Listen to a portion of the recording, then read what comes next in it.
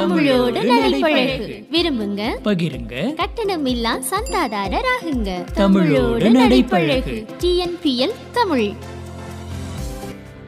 வணக்கம் ஃப்ரெண்ட்ஸ் எல்லாரும் எப்படி இருக்கீங்க? நம்மளுடைய யூடியூப் சேனலுக்காக புதுசாக போயா மைக் ஆர்டர் பண்ணி வாங்கியிருக்கிறோம். அதனுடைய அன்பாக்சிங் தான் நம்ம பார்க்க போகிறோம் இதை இதை நான் வந்து நான் அமேசானில் வாங்கினேன். போயா மைக் ப்ளஸ் ஒரு குட்டியாக ஒரு மொபைல் ஸ்டாண்டு இது ரெண்டுமே வாங்கினேன். ஸோ ரெண்டுமே ஒரே பேக்கில் நமக்கு வந்துருச்சு. ஒரே பேக்கேஜாக தான் ப்ரைஸும் ஃபிக்ஸ் பண்ணியிருந்தாங்க.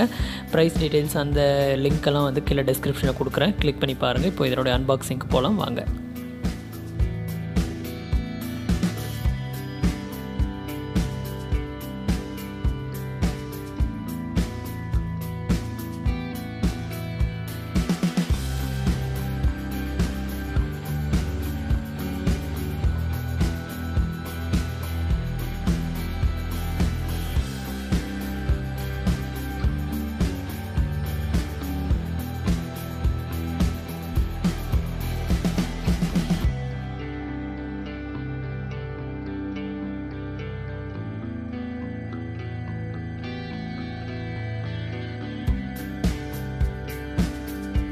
ஓகே ஒரு வழியாக நம்ம அன்பாக்சிங் பண்ணியாச்சு. இதெல்லாம் தான் வந்து அந்த பேக்கேஜில் இருந்துச்சு. ஒரு யூசர் மேனுவல் மைக்கு இதனுடைய ஸ்பெஷாலிட்டி பார்த்திங்கன்னா சிக்ஸ் மீட்டர்ஸ் ஒயர் எவ்வளோ தூரம் இருந்து வேணால் நம்ம ஈஸியாக ரெக்கார்ட் பண்ணிக்கலாம். போல் இது மொபைல்லையும் யூஸ் பண்ணிக்கலாம். ஆண்ட்ராய்டுக்கும் கொடுத்துருக்காங்க.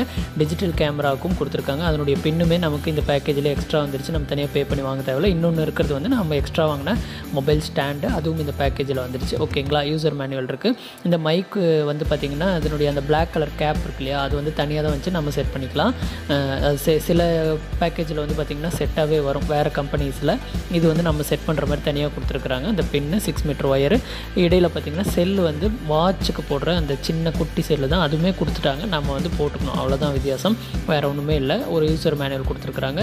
அதில் எப்படி அப்படிங்கிறது எல்லாமே முதற்கொண்டு ஃபுல் டீட்டெயில்ஸ் அதில் கொடுத்துருக்காங்க. ஓகேங்களா நிறைய யூடியூபர்ஸ் இதுதான் பயன்படுத்துகிறாங்க இந்த போயா மைக் நிறைய பேருக்கு நல்லா யூஸ்ஃபுல்லாக இருக்குன்னு நினைக்கிறேன். ஓகே வாங்க. இப்போ நம்ம மைக் இன்சர்ட் பண்ணி இந்த மைக்குடைய குவாலிட்டி எப்படி இருக்குன்னு பார்க்கலாம்.